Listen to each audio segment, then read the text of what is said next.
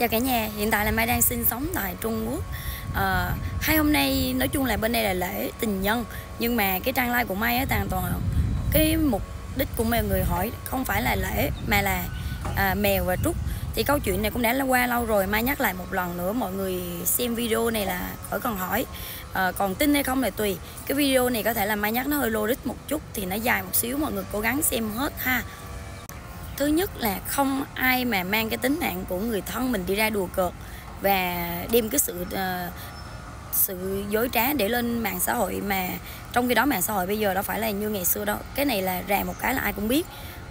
Thứ hai nữa là người ta cũng đã cam kết là chịu trách nhiệm nếu như người ta sai. Đó.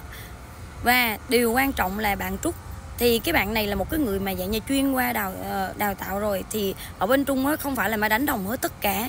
Nhưng mà có một số bạn nữ cũng là chuyên học hỏi những cái lớp học mà dạng như là để đi đào mỏ dạng như không muốn làm mà muốn ăn á mọi người. Thì nói chung là những cái lớp học này nó rất là chuyên nghiệp. Nó sẽ hướng dẫn mình cách để giao tiếp với người đối phương như thế nào và hướng dẫn mình cái cách mà um, làm những cái khi nào mà để đách luật tại vì nhiều lúc mình ở trên uh, tin nhắn thì nó sẽ để lại những cái lời uh, lời nhắn là cái bằng chứng. Thì bạn này là rất là một người rất là thông minh và một là người rất là chuyên nghiệp cho nên là họ đã lách hết những cái luật đó. Và chỉ cái những cái nào mà đáng gắn vào uh, cái tội á thì bạn đó để trả lại hết rồi. Ví dụ như là ở bên trung á cái vấn đề mà đào mỏ thì là một cái vấn đề mà xét xong cái cũng hơi bị nặng.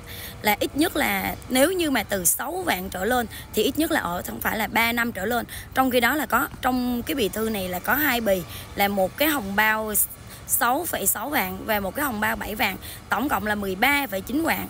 Thì hai cái hồng bao đó thì bạn nữ đã trả lại cho bạn nam hết rồi. Còn những cái điều kia thì luật sư người ta đang điều tra. Và có nhiều bạn kêu lời bạn này bị on. Thì mọi người nghĩ quen trong 2 năm mà gặp nhau hai lần ờ, uh, CK rất là nhiều lần trong khi đó um, đi xem phim thì có một lần thôi thì mọi người nghĩ là cái tình yêu nó có đích thực hay không? Thì mọi người xét là mọi người nghĩ là bạn nữ có on hay không?